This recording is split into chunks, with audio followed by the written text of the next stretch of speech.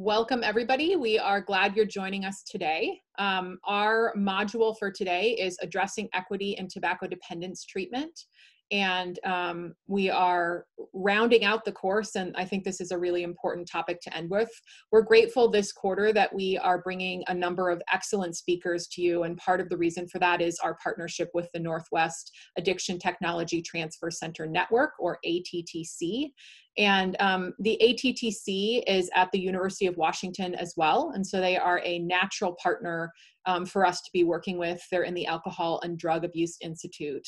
Um, next slide. Their main goal um, is really to train the future and current addiction workforce. And um, they do that in a number of different ways. They sponsor trainings online and in person. They provide intensive technical assistance to support systems change and organizational efforts around adoption of evidence based practices. They offer consulting. They disseminate science based information. And they're serving um, current and future uh, treatment workforce members in Alaska, Idaho, Oregon, and Washington. So we're grateful to them for their partnership and for um, being able to bring speakers like Dr. McAfee to you today.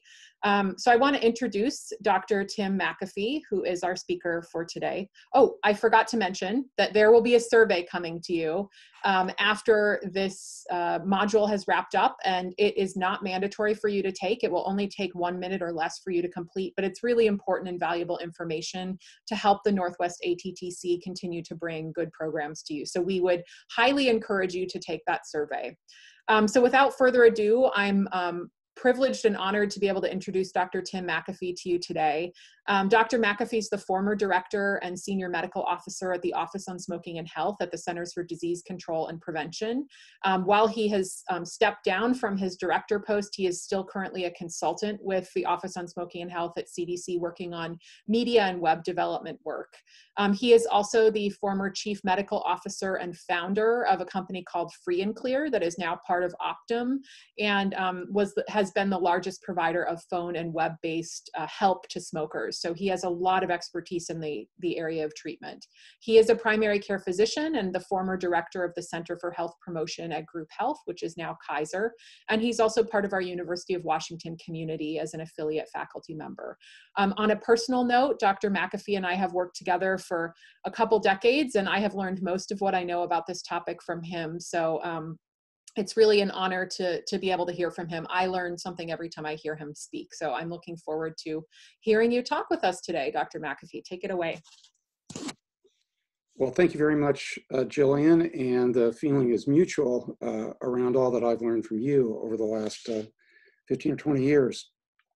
And um, I am thrilled to be having the opportunity to talk to all of you. I'm sorry it has to be asynchronous but um, I'm uh, enjoying the, the possibility of sharing with you the incredibly important set of issues that are associated with uh, existing health equity and disparity is issues that are associated with the um, delivery of tobacco dependence uh, treatment, uh, predominantly in the United States. And I will be talking about this at some detail. Before I do it, I wanted to do a short disclosure. Um, although the reality is I don't technically have to do any disclosure. I thought it would be interesting just to think about it. So here's what I'm disclosing. First of all, I confess that over the last decade, I have worked directly or indirectly for the federal government. Now, that may not seem like, so what's the conflict there? Well, I just want, uh, I try to keep in my own mind aware of the fact that the federal government each year raises between 13 and 15 billion dollars in tobacco tax revenue, uh, and that this really uh, uh, objectively is a financial conflict of interest that that the federal government has and state governments that tax tobacco products as well do, because if they were to put in place policies that completely eradicated rapidly uh, that the, the purchase of tobacco products, they would lose, in the federal government's case, uh, almost $15 billion in tax revenue, which is almost real money. I have no uh, relationships with the pharmaceutical industry. As Jillian indicated, I did have a relationship with one of the counseling industries, um, uh, Quit Lines, um, but I have not had any for the past 10 years.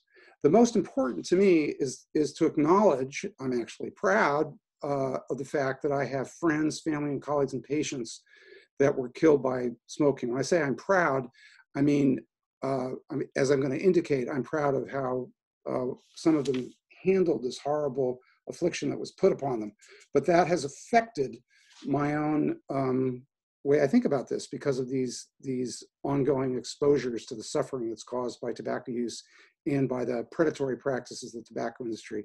In the left um, um, bottom of the slide is my uh, friend and colleague Terrie Hall, who worked on the CDC's TIPS campaign, and I had the honor to know her and work very, very closely with her for several years and uh, was actually present uh, just the day before she died in a North Carolina hospital from her tobacco inflicted uh, disease. So this has affected me, and you'll have to decide whether um, I think there are very few of us that are not affected uh, by something like this, but how we, how we process it is important uh, for our work and can be mobilized uh, in a positive fashion. Now, what I'm going to cover is basically four big buckets today. First, because um, I'm talking about tobacco treatment, I think it's important to talk about what, what I mean and what is generally meant by treatment. I'm going to come at this from two different overlapping perspectives. One of them is actually wearing my public health hat. Uh, and as a trained epidemiologist, how do I think about the delivery of treatment? Uh, and how do I think about it as a public health person in terms of impact, uh, the impact that treatment can have on, on population levels of smoking. But I'm also going to talk about it as a clinician and in the more classic way that we think about treatment, about drugs and medicines and you know how we get them to people and all that kind of stuff. And then number three, I'm or excuse me, number two, I'm going to talk about health inequity issues that are facing smokers. And I'm taking this is a somewhat unusual perspective on health inequity uh, because we usually think about health inequities and disparities about sort of the classic subpopulations, race, race ethnicity, uh, sex, sexual orientation, uh, socioeconomic status, uh, et cetera. And I am going to talk about those. those. That's the third area that I'm going to talk about. But I also, from my decades of experience, have come to believe that there are a set of health inequity issues that face smokers that really cut across those uh, different disparate groups, and that smokers, um, really almost regardless of the other their other characteristics as human beings, face a unique set of uh, of issues. And finally, I'm going to speak about um, potential solutions, which is uh, both fun and frustrating to talk about, as you'll see. But before we got into that, I thought I would just take a minute since we've we've had unfolding in the United States during uh, 220 and 221, the a, a uh, remarkably horrific but educational uh, experience with how our society has dealt with the COVID-19 and is dealing with the COVID-19 uh, pandemic. And as somebody who's thought about a pand another pandemic that's been more invisible, uh, the pandemic of deaths caused by particularly cigarettes and other tobacco products, I, I thought it, it might be useful to think for just a minute about what these things have in common and what's different about them. Uh, so first, they both have the potential to kill hundreds of thousands of Americans a year if, if not, not addressed. There have also been very powerful and ongoing efforts to try to deny and minimize the health impact of both pandemics. And a lot of this has been related to, um, in the case of, you know, cigarettes, it's because the tobacco industry stands to gain by their ongoing sale. Um, and in the sense of COVID, it has to do with the sense of the potential that that uh, the economic disruption that's caused by the measures to halt its spread. Um, so both parties uh, people that are worried about the economy in the US and specifically the tobacco industry have made very powerful and ongoing uh, arguments that doing significant things that we know would work would uh, devastate the, the economy. Uh, the other thing that they have in common is that both of them, for both of them, they have prevention and treatments that exist that decrease their rate of infection or initiation in the case of tobacco use and mortality from, from the use. Um, another thing that is fascinating and not automatic is that their death rates uh, for both pandemics have correlated with age in a similar pattern with death rates uh, becoming progressively worse as people age and also are correlated with uh, a similar set of chronic conditions like uh, lung disease and heart disease and diabetes uh, and obesity, all of which are made worse for tobacco uh, if you have if you smoke, and all of which are made uh, obviously much worse if you have COVID, and COVID is made worse.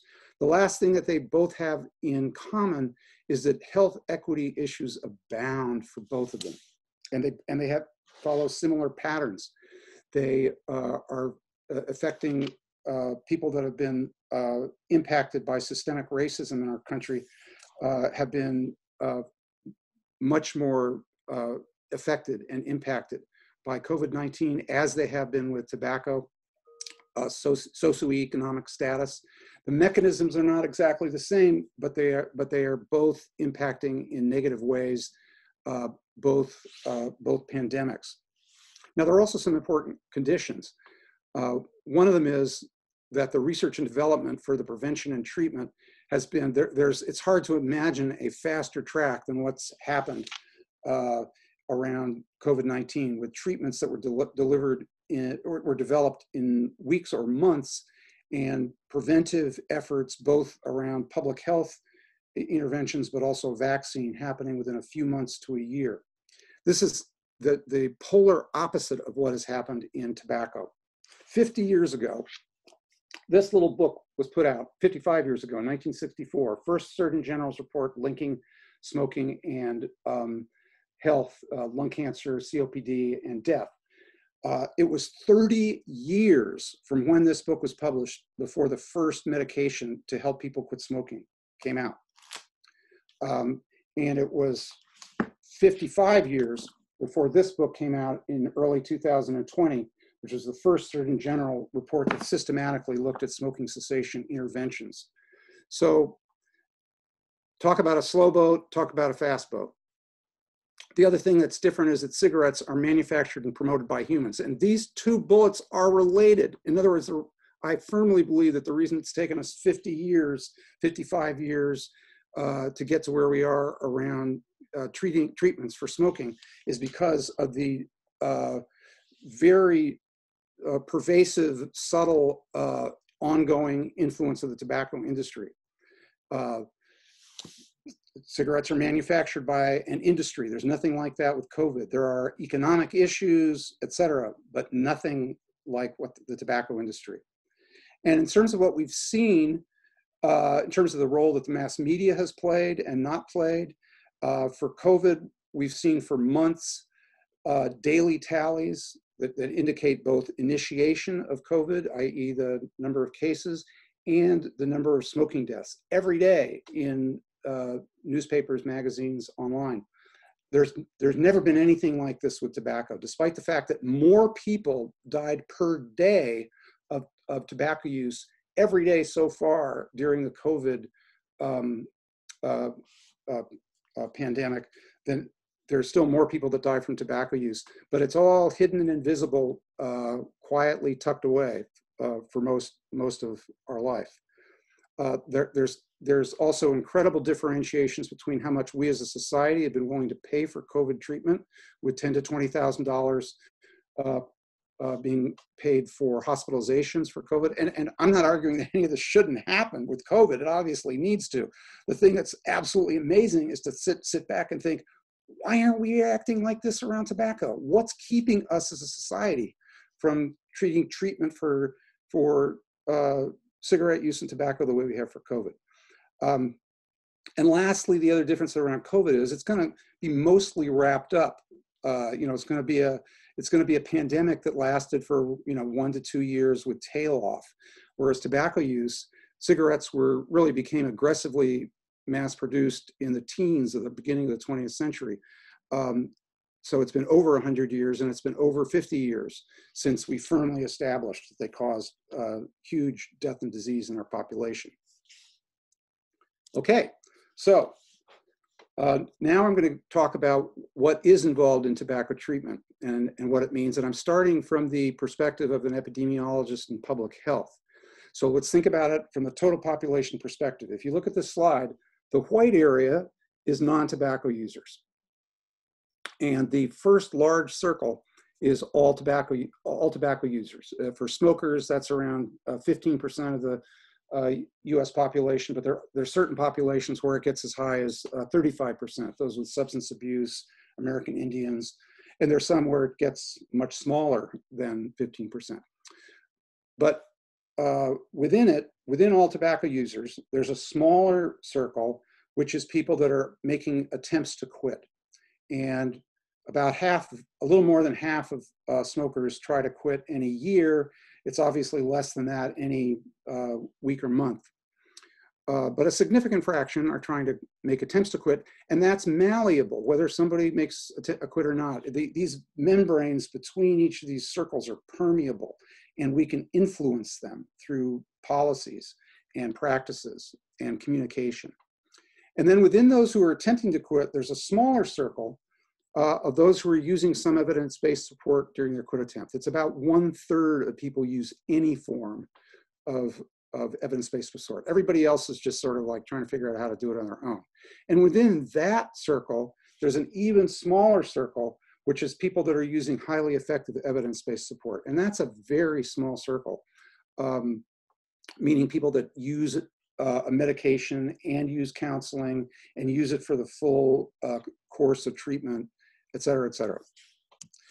Now, the other way to think about this is, okay, so what? what? What's the implication of this? The implication is, how do we increase the total long-term quits in a population? And in order to do that, to go back to this, we have to move people from the all tobacco user circle into the attempting to quit circle. And then ideally, we want them to use some evidence support and we want them to use highly effective ones. But from a policy perspective, um, a lot, mostly a lot of our interventions only focus on one of these, like increasing quit attempts. Historically, uh, th this was done in mass media campaigns would only focus on increasing quit attempts in the population. That's, that's all they did up until 10 or 20 years ago. Increasing use of evidence-based support, something that often would happen in, in clinical environments, as would increasing the effectiveness of evidence-based support. But each of these, there were sort of wheels that could be moved to make these things happen, both in the larger societal uh, arena, but also even within the clinical environment, there are different things that could be done that would affect each of these three things. Um, however, there is a sweet spot in the center where all three, that there's certain interventions that can do all three of these things. For instance, clinical interventions that take a, a, a more global perspective can do everything from having clinicians encourage people to quit to helping them to, to get a quit plan to following them up and making sure they get more intensive uh, use of materials. And this slide just gives a little more examples of this. So to increase quit attempts, um, you can have comprehensive clinic system interventions that have doctors give very brief advice. The brief advice basically just helps people make quit attempts. Um, but you can also, the reason it's got some asterisks by it is because the clinic system interventions have the capacity, as I mentioned, to do any of these other things as well. We have mass media campaigns that historically only increase quit attempts, but we're increasingly seeing mass media campaigns that are doing more, and I'll talk about that in some detail. Um, now, for increasing the use of evidence-based support, there are big policy and programmatic things that can be done to encourage people to avail themselves of this that bottom line, they require the promotion and removal of access barriers uh, to, to getting support. And they, they, they benefit from changes that can happen to make the, the products and services more patient friendly. Uh, just to give one example, uh, the nicotine gum was actually designed to not be very tasty and not be very much fun to chew. This was due to concerns about addiction. This has been evolving over the past 10 or 15 years and, and other uh, methods have been used to try to develop products that actually, you know, are not sort of as uncomfortable for people to use. Um, there's also the possibility of increasing the uh, effectiveness if somebody is using uh, uh, support.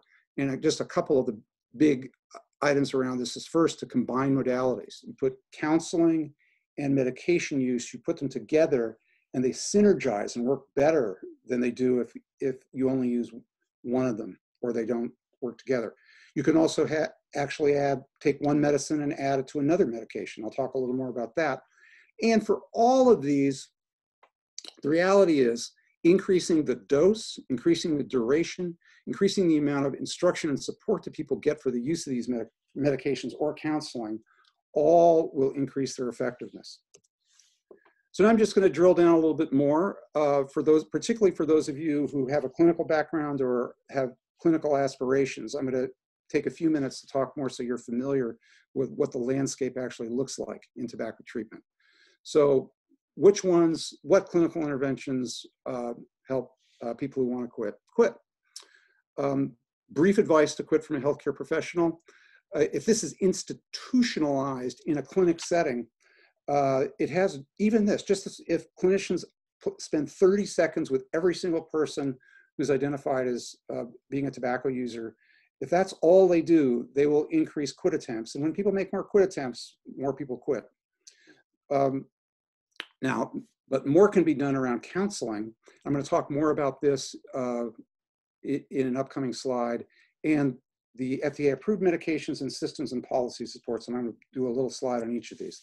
So for clinician interventions, the good news is a lot of clinicians and, and healthcare administrators and, and clinic managers are very nervous about institutionalizing this because they think it's going to make people not like them, switch to a different clinic, switch to a different provider. It turns out if this is done well and systematically, as long as there's empathy, uh, patients end up preferring this type of service because you know most of them want to quit and um, most of them would uh, realize that they're going to get in trouble with their tobacco use if, it, if they don't do something about it. So they appreciate that their providers bringing this up.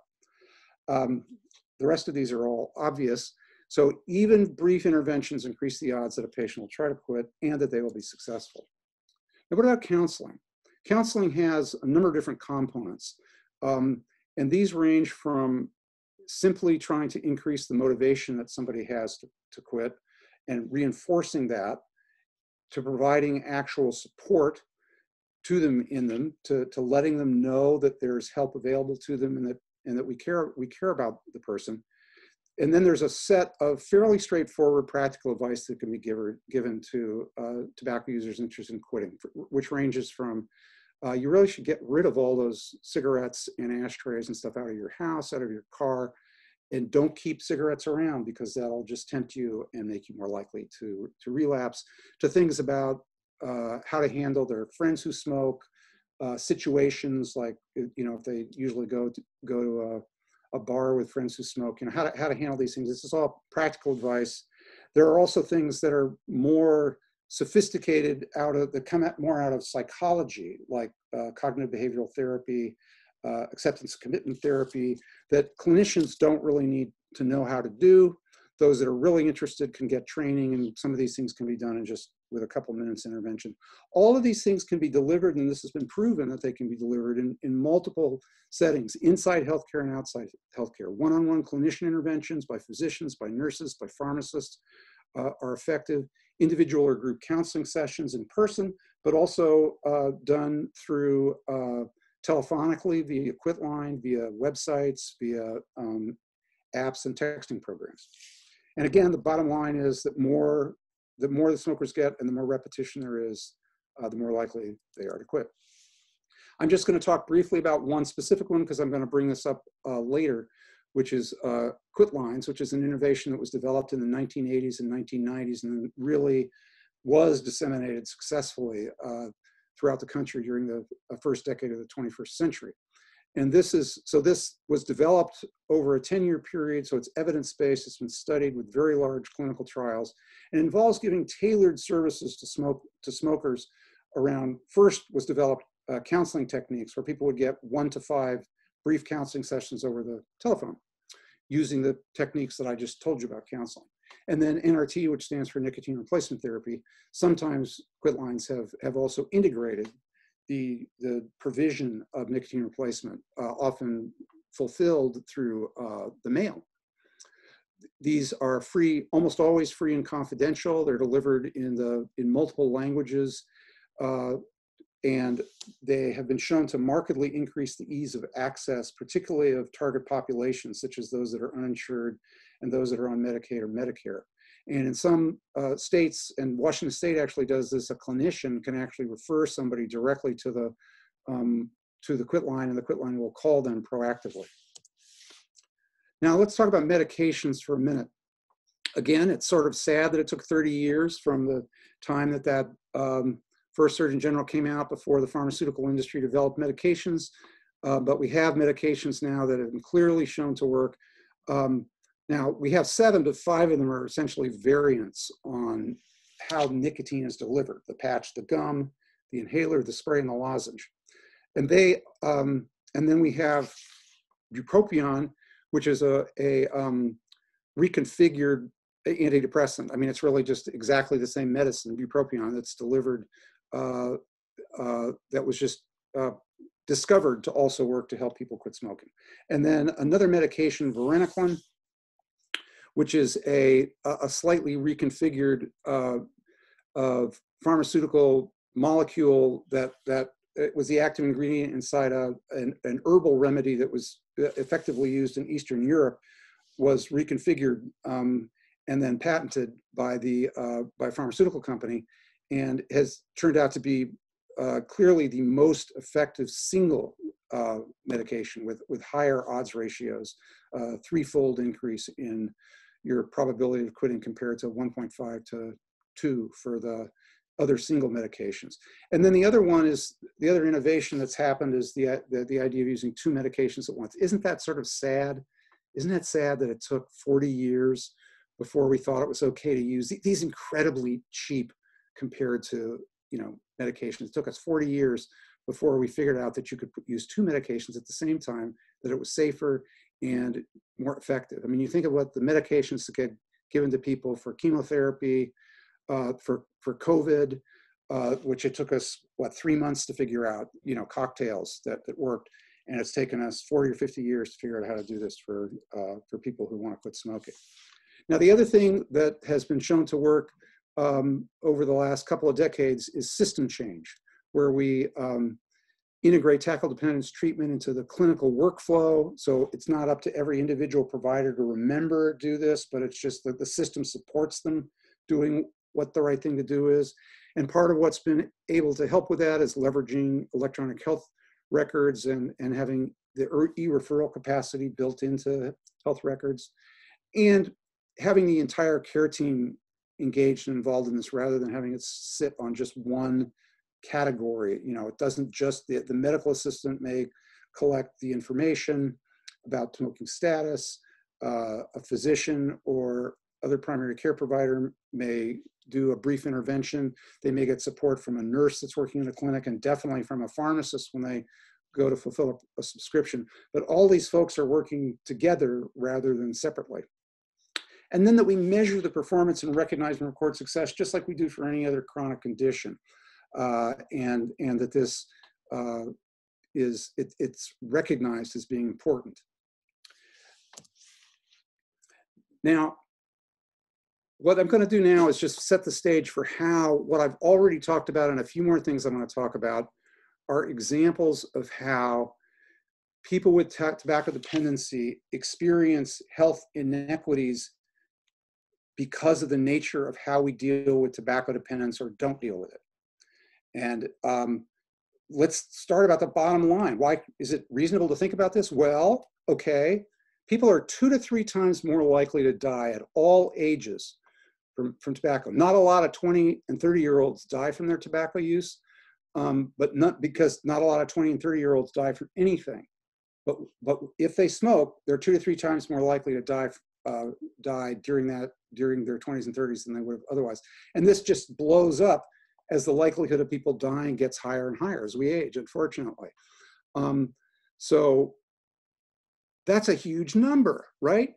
And your life expectancy if you're, you're a smoker is 10 to 12 years lower than if you were a non-smoker. And you course correct fairly quickly, especially if you quit in your 30s or 40s or even your early 50s. You get your your life expectancy comes back up again within a few within a few years. Um, so you would think, right? You would think that tobacco research and delivery was prioritized had been prioritized over the last 50 years, but it has not been. Uh, it got a lot better in the 90s than it was before when it was basically zero. But still, even five years ago, the, the entire NIH budget for tobacco research was about a third of a million dollars, a third of a billion dollars, excuse me. Now, a third of a billion dollars sounds like a lot of money, but the United States has, in 2020, spent $9 billion supporting vaccine development for COVID 19.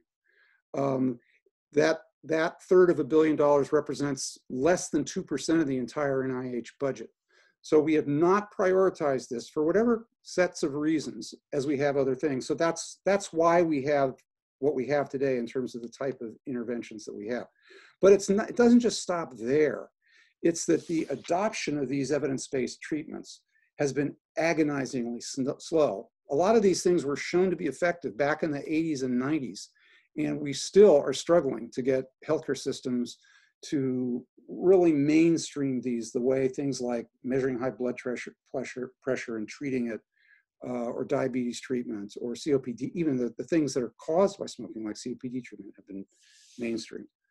Um, now let's look at some other things that show how tobacco users are essentially suffering from health inequities compared to other uh, people with things that cause them harm users of addictive, this addictive product are taxed, but the revenue from that tax does not apply to treatment or prevention. The vast, vast majority of that tax goes into other universes. And I'm talk a little more about this uh, in a minute. And now under the Affordable Care Act, tobacco users are now one of the only groups that an insurer can charge higher premiums for, up to 50% higher. And you know, there's some rationale for why this should happen, but where it leaves a tobacco user is that, un, you know, he he he may have to pay more because he he smokes for health insurance. And then lastly, uh, we have let we have left the environment of the tobacco user for many, many decades. We left it to be highly conducive to continuing their addiction and made it much harder for them to quit. Now, I'm just going to give one example about uh, the situation for tobacco users around what they have to do. They're spending, they're, they're, they're contributing about $25 billion a year to state revenue by paying state tobacco taxes, about $15 billion a year to federal, the federal budget by paying tax revenues. And to give you a sense of the scale of those numbers, the tobacco industry spends about $9 billion um, on marketing and promotion. In fact, if you add the revenue from the federal and state government together to get about $40 billion, that is less money than the tobacco industry gets in profits globally from the sale of tobacco products. This is why at the beginning I said I was giving a disclaimer because I was a federal employee. You know, we're making as much money as the tobacco industry is, we writ large of all these different government entities. So um, so anyway, it's worth thinking about because when you go further down, you go further down on these graphs here, you see that the CDC recommends that three uh, states should spend more than $3 billion on tobacco control programs. They, they spend less than half a billion, one sixth of that. Um, and it's perpetually at risk and that's not just for treatment that's for everything from you know keeping 15 year olds from starting to policies etc okay now maybe one explanation for this would be well it's, it's different than other diseases because tobacco users don't they don't want to quit right? So why we can't help them. It's it's their fault because they don't want to help. Sorry you're wrong. Look at this graph um, which is uh, um, actually uh, uh, Jillian helped uh, helped work on on putting this this information together. Of adults who quit, uh, 68 more than 68 percent of them want to quit, and this is also done from 2000 to 2015. You can say that's that's stayed roughly equivalent over the last uh, 15 years. well, maybe they want to quit, but they're not really trying to quit. So why should we have to help them? Nope, sorry. Actually, um, this has actually gone up a bit. So that last last year, you know, we had over 55%, or, or excuse me, in 2015 we had over 55% of smokers made an actual quit attempt where they quit for at least 24 hours or more. Um, well, so maybe they're all quitting. So what's the problem? Because they're, you know, most of them are quitting. Well, let's go to the third thing, and you'll notice, nope, they're not being successful. Um, uh, now that, that the good news is that's going up a little bit. The scale of this graph doesn't show it as much, but that is improving and that's probably due to uh, improvements that we've made around getting people to use these effective treatments. But still, we're down in the five to 10, five below 10% range for uh, people who've recently uh, quit in, in the past year successfully, which doesn't jibe with past year quit attempts at all, obviously. We've got about um, little less than two thirds of people report that their healthcare provider uh, gave them advice to quit. I mean, that sounds pretty good. It's, it, but still, think about that. What if two thirds of people said that they they when they went to see their primary care doctor or their doctor, they they gotten their blood pressure, but a third of them hadn't. Um, and this was a people that had high blood pressure. You know, and only a third a third of them had not had it checked. We wouldn't stand for it. And then the, the numbers that use counseling medication are, you know, around 30%. Two thirds of people uh, who quit did not use counseling medication. A lot of room for improvement. So bottom line, if you're a smoker, you pay for other people's healthcare and roads through taxes and a tobacco settlement, but you may be denied coverage, awareness of coverage, or access to well-proven treatments that can quadruple your chance of success if used uh, in a maximal fashion. You may have to pay more just for your total health care solely because you're a smoker while your neighbor with diabetes, alcoholism, alcoholism or obesity does not. And you continue to be exposed to marketing and access to a deadly, highly addictive product in ways that uh, are not uh, consistent with how we, we approach deadly, highly addictive products uh, for most of the rest of society. And I just, I have at the bottom here the, a, the World Health Organization's de definition of health inequities, which I'll pause to read. Health inequities are differences in health status, i.e.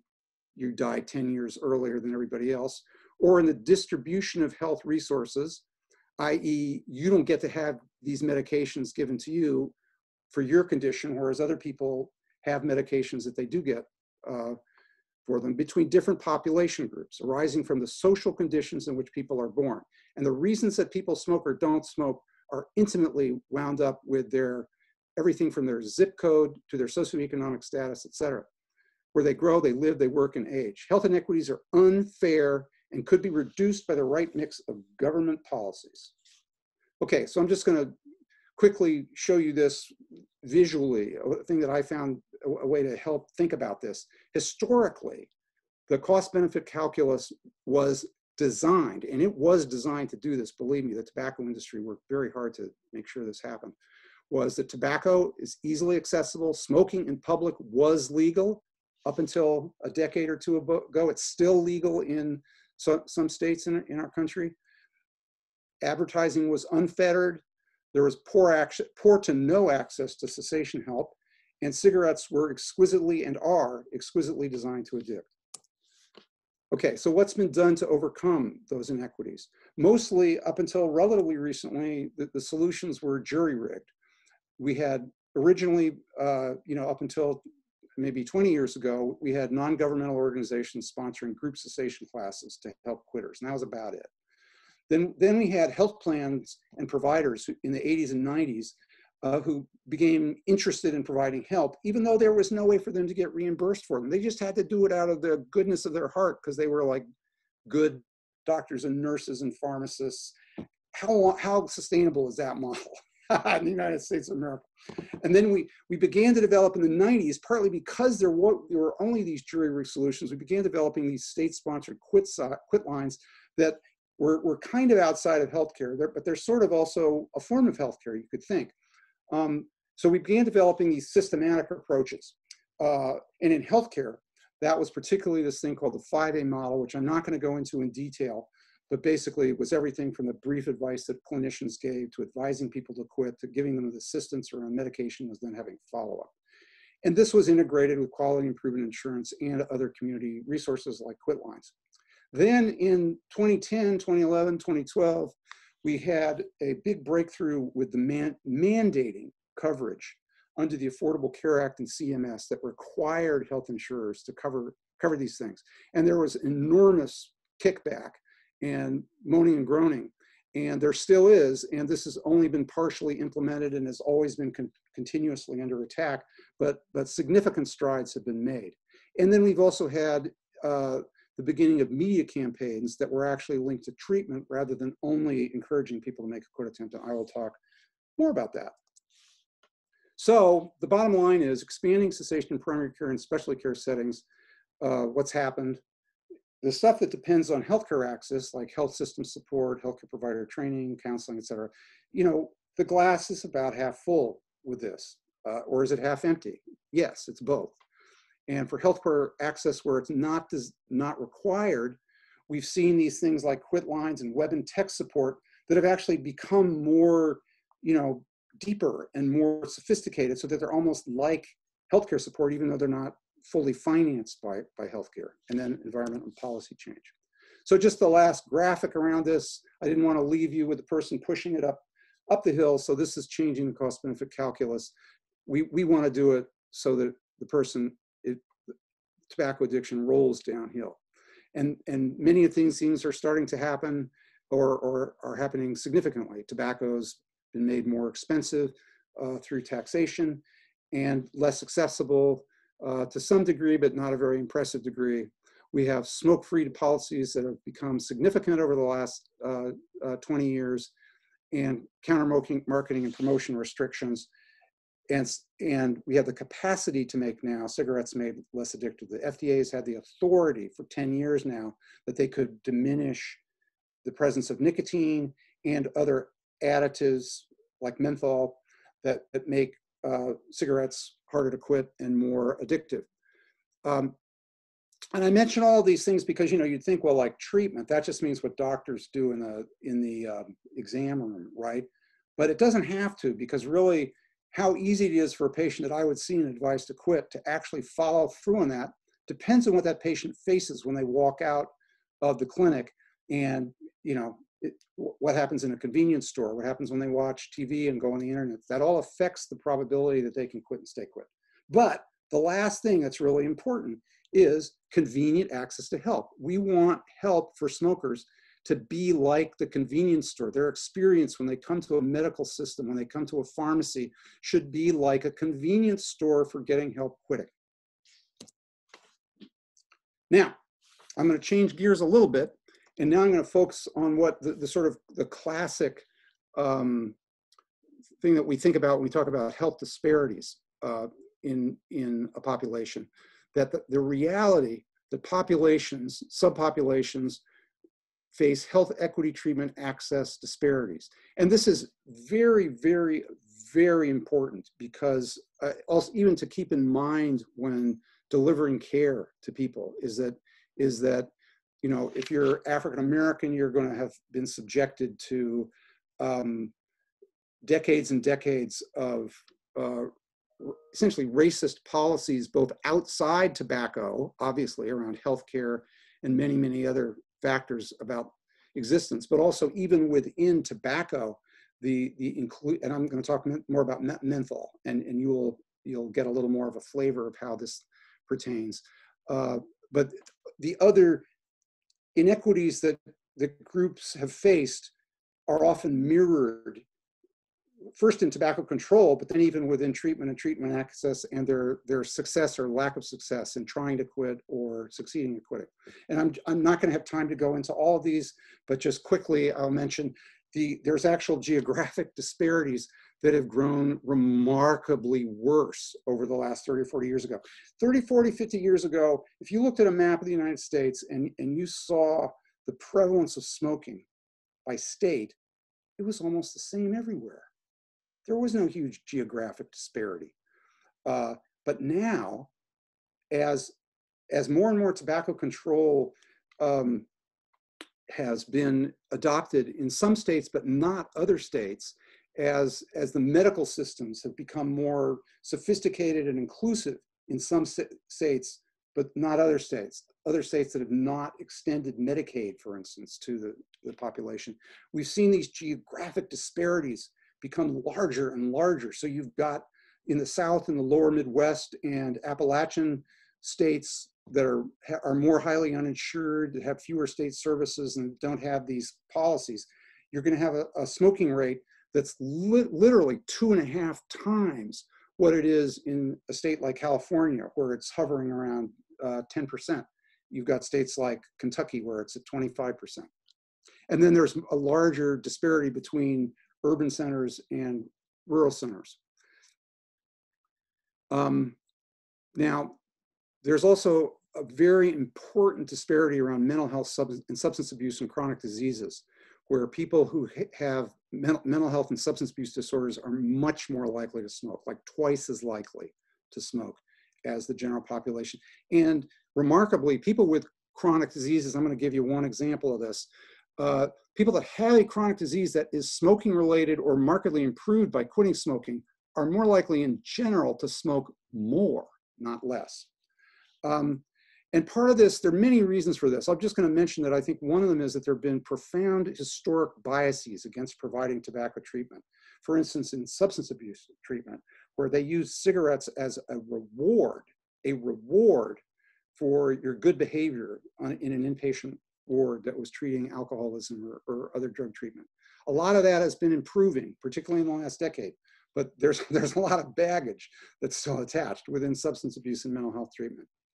Now, lower socioeconomic status, I'm going to talk more about this. I'm going to talk more about race and ethnicity. I'm not going to talk more about, about uh, differences between males and females. Uh, a lot less is probably known about that. Um, but um, there, are, there are probably important differences even around receptivity to nicotine replacement therapy versus varenicline bupropion that made difference between males and females. But that again, it's just, it hasn't been very well studied. If there was something like this in, a, in another condition, we would have figured it out in the last decade, but we haven't with tobacco yet. Um, so, socioeconomic status. Low SES smokers are less likely to receive cessation assistance from a healthcare provider. If you're, if you're um, poor or uh, a little or not college educated, the doctor is less likely to talk to you about quitting smoking, even though you're more likely to be a smoker. And we know that cost and lack of coverage are a profound barrier to cessation treatment, especially for people uh, in low SES. Um, and it may be harder for them to access resources, to be able to get um, childcare, to be able to uh, have the freedom to be able to take part in some of the, the counseling activities or go to the doctor, et cetera. And plus, culturally, there may be more of a, a distrust of the medical establishment and the environment that, that people live in, the, the, the density of retail stores that sell tobacco, the, the prevalence of, of uh, tobacco favorable advertising is higher in, in the um, zip codes, people with low SES. And briefly on race and ethnicity, I'm, I'm going to talk, I'm going to focus my remarks on American Indians and African Americans, partly because they have the, the highest prevalence uh, uh, variance uh, compared to some other uh, race ethnicity groups. So American Indians um, had the lowest quit attempt rates of any racial or ethnic group. They had the lowest quit success rates, and they had the highest uh, percentage of smoking and tobacco use at over, well over 30%. Uh, There's variation from uh, tribe to tribe, but, but th this is the aggregate number. There are many, many reasons that cause that, that have caused that have caused this to happen, and uh, many are predominantly related to the again the systematic uh, racism and subjugation that the American Indians in the United States have been subject to for hundreds and hundreds of years. Um, and some of them are specific to tobacco industry predatory practices uh, on reservations and towards American Indians, and even product development like American Indian spirit and spirit uh, that specifically uh, steals uh, the symbolism associated with being American Indian and, and repurposes it to sell tobacco products. For African Americans, uh, the, um, the good news for African Americans is that they have higher quit attempt rates than, than many other groups, including whites, but they have lower quit success rates. Um, and again, they tend to have lower utilization of healthcare associated treatment. Uh, but the good news is they have similar success rates when they do use treatment. So, and this is a very good, important thing to realize is that, that there don't appear to be a lot of substantive differences with how different human beings, based on whether category they are, race, ethnicity, et cetera, are, and how they respond to treatment, with the possible exception that there may be some uh, male-female differences around literally biochemical differences that we don't know very much about. But in general, people respond well to the counseling interventions, they respond well to the medication use. The main issues are people not getting access to them. African Americans actually use quit lines at a higher rate, for instance, than, than other populations and do just as well with them. I'm now going to talk about menthol, which is um, a very, very, very important um, um, disparity, um, health inequity, uh, social justice issue, uh, especially for African Americans. Um, we know that menthol, the presence of menthol, we now know that menthol makes it easier to initiate smoking, it makes it harder to quit, and that we know there's been decades long promotion by the tobacco industry targeting African Americans specifically with menthol. And over the last decade, there have been many efforts that have been taken everything from the FDA down to states and municipalities to try to address the issue of flavorings associated with um, um, the, particularly the youth initiation that, that have banned all flavors, uh, almost all flavors except menthol. We're starting now in the last year or two to see uh, places where menthol is actually being included in this, which is very exciting. Uh, but you can see by looking at this graph that um, although there's certainly menthol is used by other uh, other uh, racial and ethnic groups and it is an important factor in initiation with youth and young adults, still it, African Americans that uh, suffer the most from the continued uh, allowance of, of, menthol in cigarettes.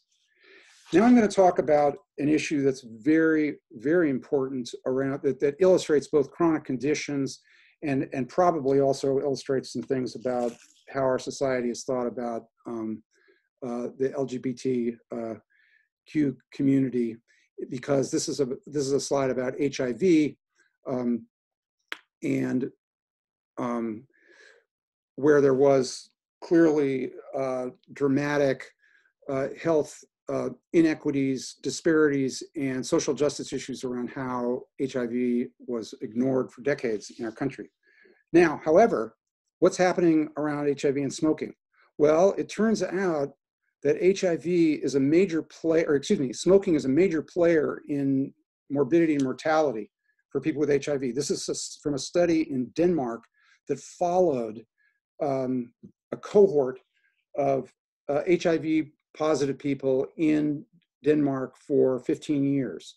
And I know these slides can be, it can be kind of tricky to, to, to track this. So uh, I'll try to just briefly talk you through it. Just look at the age of 65 and now look up from there. And you'll see that if you were, if you go all the way up to the top, the, the, the solid black line is people that are, that are controls. They don't have HIV and they don't smoke. And about le less than 5% of those people at 65 died over that 15 year period. So again, 65 sounds old, but you're still not that likely to die getting from um, 50 to 65. But if you had HIV or were a smoker, you were an HIV or smoking, but not both, your likelihood of death was almost identical it was about uh, one chance in uh, about a 15% chance of death from one of those conditions. By this time, HIV had become a chronic disease. You know, back in the 80s and the and the early 90s, it, it was a death sentence.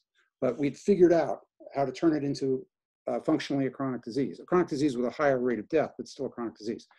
But if you now go down at the age of 65, way, way, way down to the uh, scrunchy line that says HIV and smoker alone, you will see that if you do both of these things together, your risk of death uh, is about 70%. Uh, you know, two thirds, more than two thirds to three quarters of people died if they smoked an HIV. So you would think that we as a society would have done around smoking and, and HIV what we did for HIV alone, i.e., you know, complicated cocktails of, of medications that cost a lot of money, that people are given a lot of instruction for, hospitalizations, et cetera. We have not. Uh, we, we've been trying to work to get the, the medical establishment to address smoking status in people with HIV more aggressively and systematically, but uh, there's still a lot, a lot, a lot of work to be done on that. Now, again, there's lots more I could talk about that. I apologize for not being able to go into more detail, but I, am going to jump now to solutions. Um, and I'm just going to talk briefly about the first two. Uh, the first, the first, and this is to the whole problem writ large. What, what, what could be done about um, uh, problems associated with tobacco's uh, second-class status as a health condition, essentially. So, a long time ago, a governor in Massachusetts uh, gave, essentially created something like the Affordable Care Act. And it happened to have a number of things which, which were more strong even perhaps than the Affordable Care Act did. Um, it had a very, very generous smoking cessation benefit, and they did a very strong promotion, made systematic access available, and they did all this over a very concentrated period of time. So it changed from one year to the next, which, which it's been much more slower with the Affordable Care Act. So we were able to study this better. And so they studied it, and they found that 37% of Medicaid recipients in Massachusetts used this benefit. Now, you may remember I had said that the, the rate, uh, you know, for using a benefit benefit was far lower than that uh, in the general population, but they got 37% of people to use it. Um, and that's of Medicaid recipients. Among people at that time, they measured a drop in prevalence from 38% to 28% in, in smoking during this time period after the state implemented it. And there was a, a concomitant, concomitant 50% reduction in cardiovascular hospitalizations. Um, so they concluded that insurance-based coverage of smoking cessation treatments, as long as it was uh, combined with this aggressive promotion and access, ended up increasing quit attempts, use of treatments, and successful cessation. Um, now, another trial was done in a healthcare system at a VA where they did a randomized trial of 6,400 smokers uh, using the electronic medical record of, of, of, the VA system.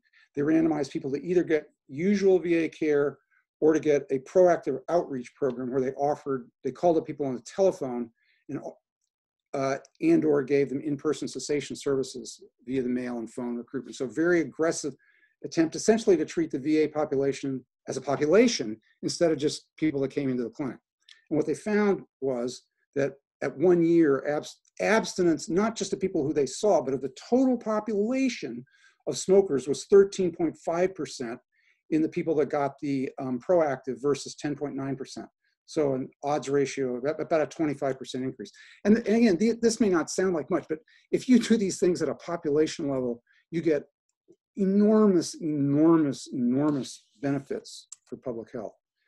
Um, excuse me. So now I'm going to close by talking uh, uh, in, in more detail about something that I happen to be intimately familiar with because I was in, have been involved in it over the past decade, both at CDC and since uh, coming back to the Pacific Northwest. And this is the TIPS campaign. Uh, and, but it's about a specific aspect of the TIPS campaign where we actually refer people for treatment. This was a large national media ad buy that's now gone for uh, almost or over a decade. Its goals were to raise awareness of negative health effects caused by smoking and exposure to secondhand smoke, to encourage smokers to quit, and to let them know that free help was available, predominantly by calling uh, a toll-free number that connected them with a quit line. Now, the TIPS campaign, in terms of what we've talked about about subpopulations targeting, it in addition to doing this broad swath for, that was aimed at all smokers, it was also doing targeted work to try to make sure that it was reaching and having an impact on uh, important subpopulations. And this, this list uh, points out the, the, the, um, the, target, the targeted population of interest. Um, it, does, it also uh, added in in the last couple of years, uh, specifically looking at dual users of e-cigarettes and mental illness and military and veterans. Now the ads were intentionally designed to show the diversity of US smokers. And an interesting, really heartening finding was that um, be, because it, you know, I, I guess I would say white whites were underrepresented relative to their their their numbers in the population, and that was intentional, and we did it unapologetically. But the the wonderful news was that the race and ethnicity of ad participants did not seem to affect ad receptivity very much among respondents in any kind of negative way. In other words, um, uh, a 50 year old white man still responded in terms of being more likely to call a quit line or make a quit attempt, even if he was watching an ad that depicted a 50 year old African American or a 30 year 30 year old woman. So, so this was, uh, we looked very, very carefully to make sure that this was it was the case, but we also thought it was very important that these specific subpopulations saw themselves in the campaign, that they didn't have to, you know, think like, oh, they're, they're only showing us white people, but maybe this applies to me or maybe it doesn't. And these just show some of the, the, the ad participants. Um, and I'm now going to do a drill down specifically since I talked at some length about HIV. Um, we did, we were quite concerned by what we saw. So, so we, uh, in terms of the effect of smoking on HIV, so we had, we had some uh, HIV specific uh, ads that we ran uh, with uh, my colleague Brian, who uh, was able to quit um, and did quit after having had an incident that was may have been smoke where the two were synergistic as HIV and a smoking status. And here I show that the ads featured the calling the 1-800 quit now. So there's a there's a tag to it. And this was also done uh, on other, uh, essentially all the other ads. Now, we also, the other thing we did around um, subpopulation tailoring was we, we, we made formats that aligned with the media consumption preferences of audiences. So these two ads illustrate this. First, for this was this was for, um, uh, and I apologize. I'm not sure. Is this uh, which Asian language is in This is Korean. Uh, I'm not sure which, but but at any rate, it, they looked at the specific Asian population that they were they were focused on and found that this style that actually has more printed word in a printed thing than, than we would normally do in a lot of our points, but, but that this was preferred by doing focus groups and talking to, to, to, to representatives, that they preferred this style of ad, which is, uh, and so we used it, and it has a special number at the bottom that hooked them with an Asian smokers helpline run by the California Smokers Helpline, uh, but, but run national, but delivered nationally uh, in four different Asian languages. And to the right, we see an ad that was aimed uh, at Spanish speakers that was that used more than we'd done with other Asian, when we, we focused on the, the, the role of the expert in, in validating calling the quit line and, and had found that this was something through focus group work, et cetera, uh, what was more, um, uh, it, it, resonated more with the, the Hispanic uh, Spanish speaking audience that we were, we were attempting to reach. And just to show, this is just a, a slide, we're getting near the end here, the TIPS awareness among various demographics. Uh, you know, and you can see variance here but you know, the lowest is 62.9% and the highest is 81%. So there was there was awareness among lower SES. Um, the highest was among low SES and African Americans, but there was really good awareness, uh, you know, across the board. But you'll see in the fourth uh, uh, set of graphs, which is around uh, education, that the highest awareness was in people that were in, had less than high school and, and, the, and the lowest was in people with a bachelor's degree. And that's exactly what we wanted. We want to make sure that our ad placement and the ad, the, the, the, the likelihood people would remember them was strongest with uh, the people that were most likely to uh, be smokers. And just a few final uh, things that we discovered was that African Americans and Hispanics were more likely to rate the TIPS ads as convincing, attention grabbing, and powerful, and that African Americans and Hispanics had greater emotional reactions and motivation, um, and that the race, as I said, the race and ethnicity uh, of the participants, however, was not a significant determinant of their reactions. So the bottom line was it was, the most important thing was to have strong, compelling messages. That's what mattered the most. And we felt it was incredibly important to have a strong message, a positive message that people can quit, you can quit, you can do this, and that you can get free help either by calling the quit line or we also made uh, web and other mobile resources available. Just to show you that tagging these ads worked, this, uh, this slide shows over a, from 2012 to 2018 what happened um, during the course of the entire campaign, every single week. And um, what you see, the gray bars are sort of baseline. That's what that's how many people are calling quit lines in the United States every week. And the colored bars, with each year a different color or sometimes phases, uh, shows what happened when the quit the quit uh, line number was being uh, when the when the when the campaign was uh, operational and they were being tagged. And as you can see, every year there was uh, a significant increase uh, in calls to the quit line. So we were connecting what we knew a campaign would make people more likely to make a quit attempt to also making sure that they were getting access to actual assistance to help. And this was definitive evidence that this was the case.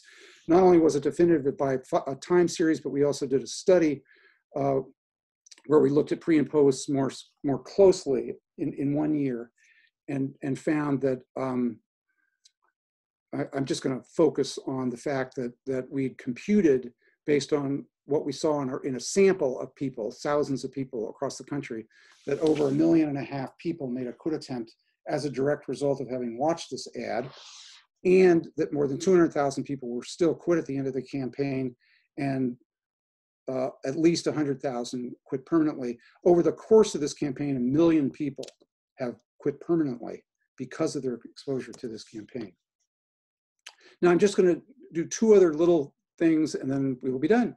The first is we also did a randomized trial that showed, I, I just want to show that even with media, it's not just about what doctors and, and uh, do or, or um, we do with medications. Even with media exposure, the same thing of dose holds. So we did, we did a trial where we randomized different markets to get a standard dose of, of, of media exposure to one where they got a higher dose. And what we found was that in the, the places that got a higher dose, um, they, they, there was more people at the population level made quit attempts, more were aware of the ads, and that the, this effect on quit attempts was markedly larger in African Americans.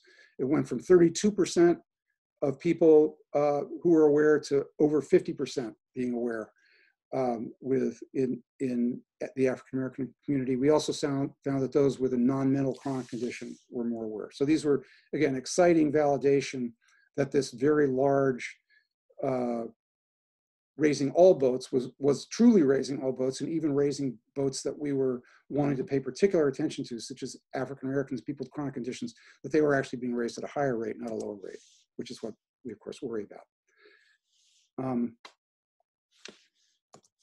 now, I'm just gonna close with a final uh, example of a way in which we, we, we work to find this sweet spot, a spot, a place that would not only make quit attempts higher, would not only increase the use of evidence-based support, but would actually increase the effectiveness of evidence-based support. Because, so what we did was we did a, a trial where we, we every, for a couple of weeks, several times during these campaigns, this is in the last, just in the last couple of years, we, we gave people something new, and I'll actually show this if I can do it. I'll show you, you'll notice at the very end, there's a little difference in how the ad is displayed. This is a TIPS ad.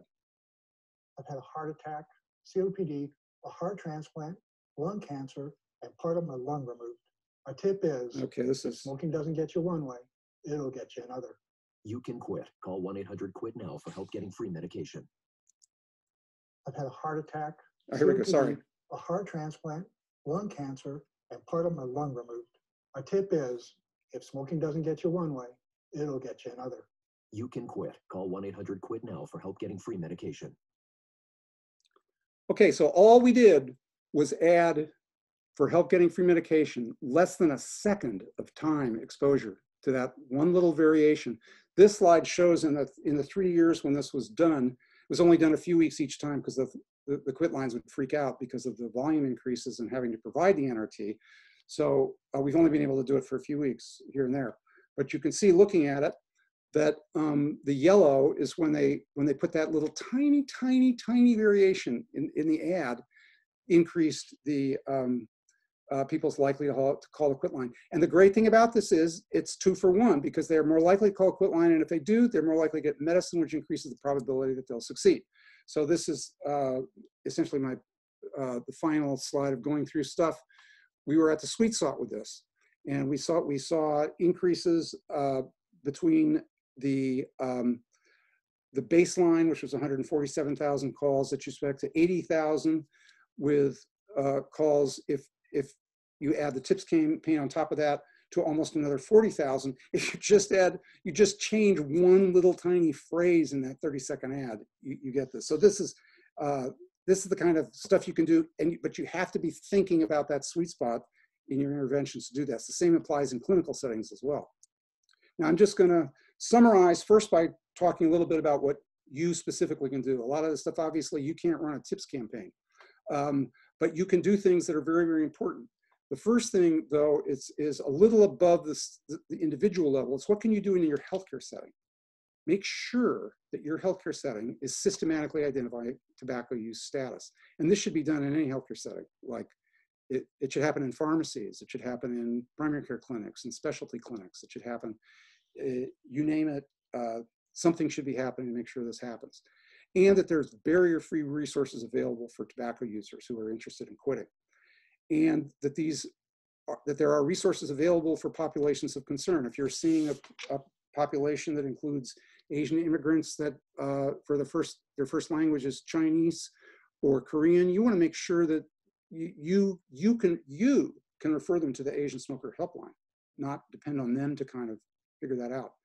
And you have to make sure that there's metrics on tobacco use treatment that are part of whatever your healthcare setting is doing uh, for quality improvement, quality assurance efforts.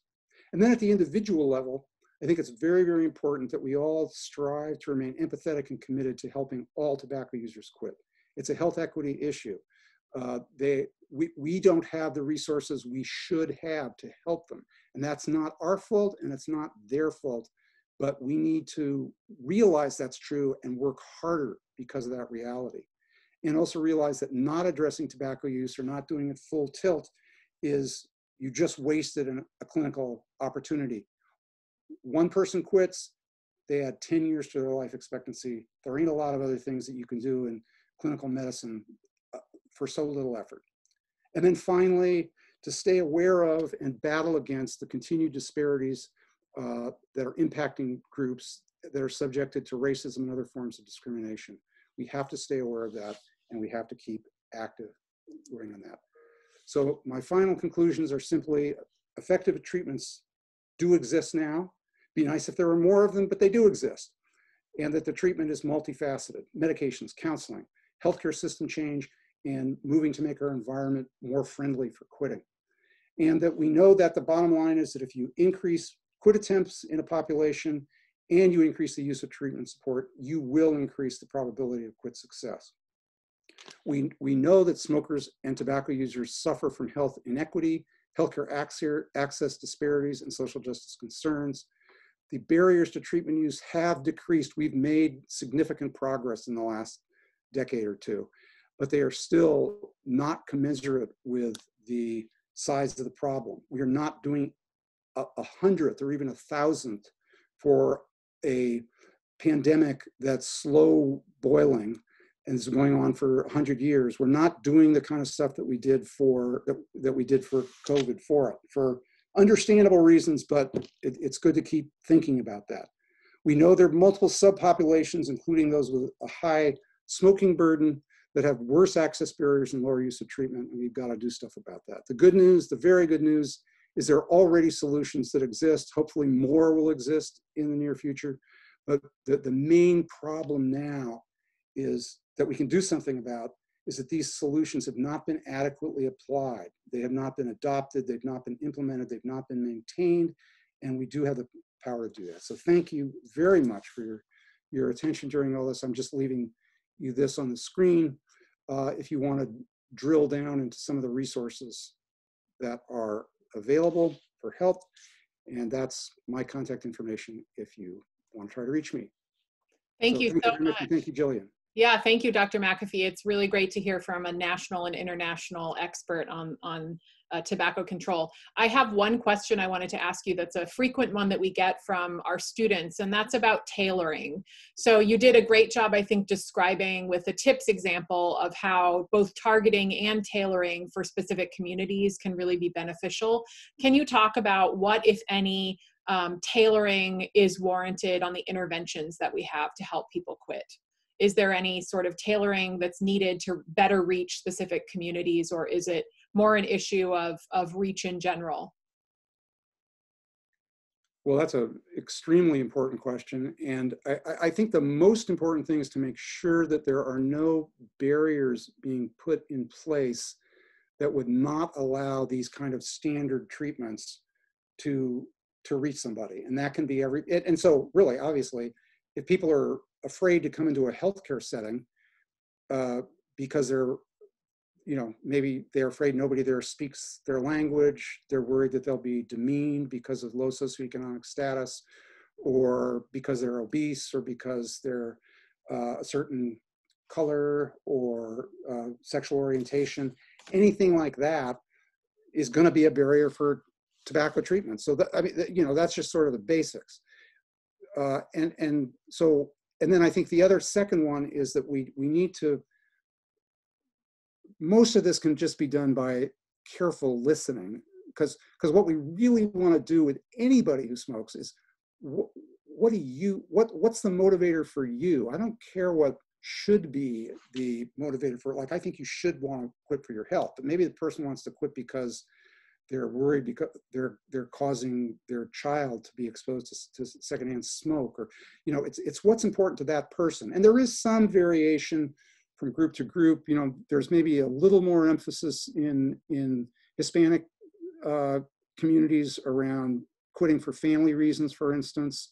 But but a lot of that it doesn't really matter because those are distributions uh, and you know some of this is really you know core human things uh, that that it's so it's it's mostly just treating the person as an individual.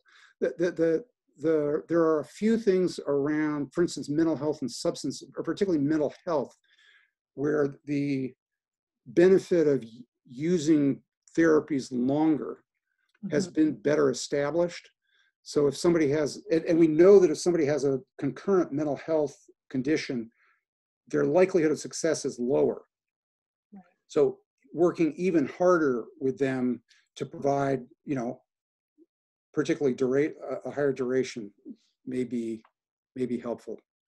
Great, that's really helpful. Well, we um, so appreciate you taking the time with us today, Dr. McAfee, and thanks again to our sponsor for the module today, um, Northwest ATTC. We're grateful for their support. Um, so thanks everybody, and we look forward to hearing more discussion from all of you about this.